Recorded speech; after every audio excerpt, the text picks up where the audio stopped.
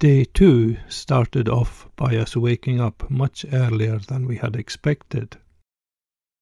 After breakfast, I decided to try out an idea I had for running all the different battery chargers we had with us from Japan.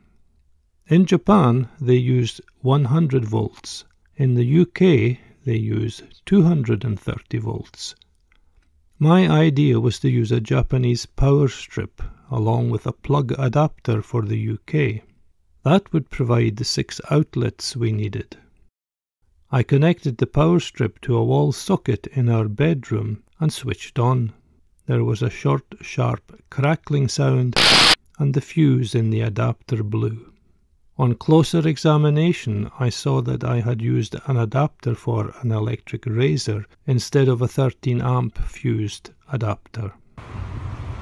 Deciding we needed some professional help, we gathered together all the plugs and adapters, and Megumi and I got in the car and drove to one of the few private electricians still in business in the town. I went in and explained the problem to the staff. They very kindly gathered together one or two adapters and plugs that they suggested were suitable for the job. Being the canny Scot that I am, I asked them to show me the setup in action before I paid for it. The staff said, no problem. They plugged in the suggested setup and switched on. The shop's main fuse blew and everything electrical in the shop closed down, including the cash register and their computer system. Luckily, they were electricians, so it only took them about 10 or 12 minutes to get everything up and running again. Needless to say, we left without making any purchases. Later in the day, however, I dropped into a do it yourself store and bought a different setup which worked flawlessly during the remainder of our holiday. In the afternoon, we headed westward toward the small village of Ceres. The village is home to the Fife Folk Museum. Earlier in the year, back in Kumamoto, I had found a recording I had made when visiting the museum 20 years previously, in 1996. I contacted the museum and showed them some of the video I had taken 20 years earlier and suggested it might be interesting for me to visit them and shoot some newer video with the intention of editing together an information video for them. They were interested in the idea, and now Megumi and I were driving into Ceres on our mission. I won't dwell too long on our visit in this video as I will be posting the final edited Fife Folk Museum video at a later date. However, here is a short compilation of some of the material that we shot.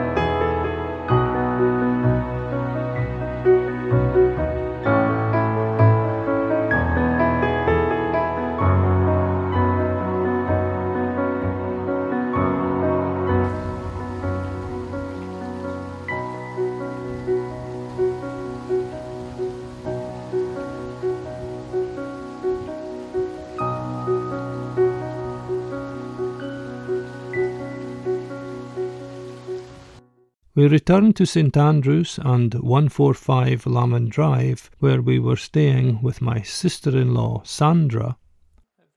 That evening we had a quiet night in, chatting with each other and looking through old photographs before ending the second day of our holiday in Scotland. Uh, you, That's me, uh, mother, mother and Kenneth. Kenneth, playing on the sands near the. Uh, yeah. And this is my me and my brother. Mm, how old are they? That's two.